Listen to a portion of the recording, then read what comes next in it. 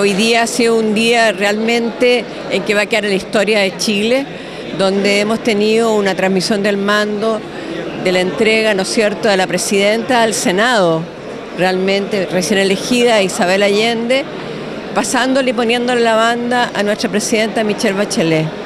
Creo que dos mujeres que van a ser las dos principales autoridades del gobierno de Chile, de nuestra república, realmente histórico.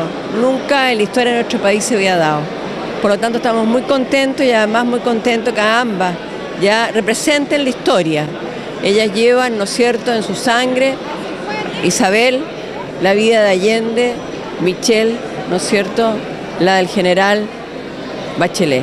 Creo que ese símbolo hoy día nos entrega, nos entrega que realmente hemos avanzado en nuestra democracia y en, y en el camino a la igualdad.